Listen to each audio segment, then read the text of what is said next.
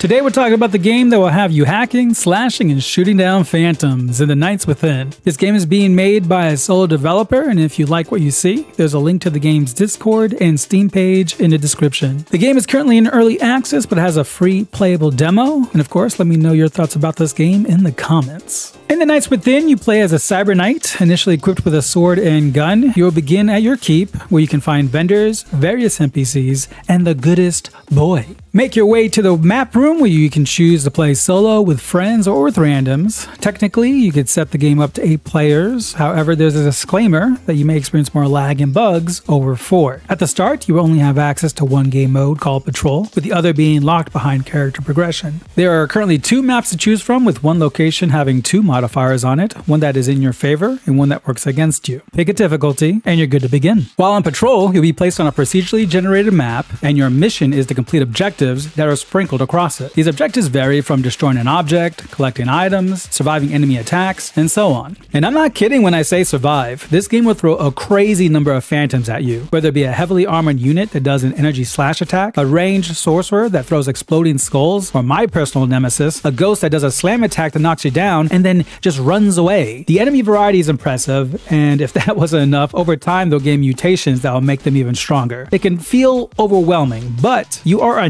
knight that is prepared to fight. You can shoot enemies from a distance with your gun, or you can attack, parry, and block with your sword, all the while managing your stamina as you attack, roll, and dash. You will also enhance your performance with the beacons you build your character with. But how do you get these beacons? When you complete an objective, you can spend either 20 shimmer or 6 medallions to choose a beacon. The beacons, at least from what I've seen so far, will either improve your attack ability, your survivability, or might be more utility focused like increasing run speed. Some personal favorites of mine, one that increases attack speed for a short time after each kill, and one that calls down lightning to strike enemies that are around you. After clearing 6 objectives, you will fight against a boss enemy called the Fallen.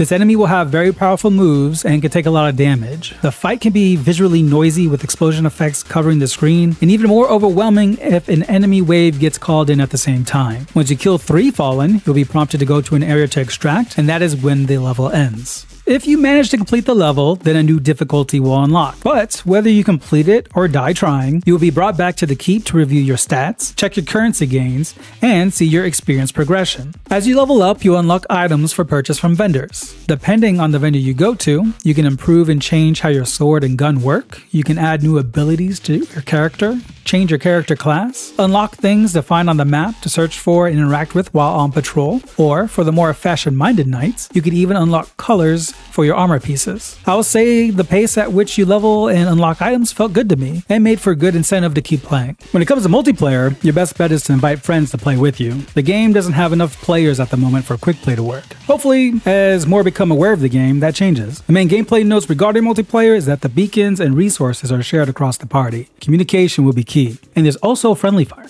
So for an early access game, this is very solid. The core gameplay loop is a lot of fun, and I haven't seen any game-breaking bugs. I mean, I have a few notes. Some enemy attacks and projectiles feel a little too sticky to my position. The distraction objective turning the ground red makes lightning and explosive arrows hard to dodge. However, these are nitpicks and possibly known issues for future patches. I would say, if this game has piqued your interest at all, then definitely give the demo a try. As for myself, I'm looking forward to seeing this game get to 1.0.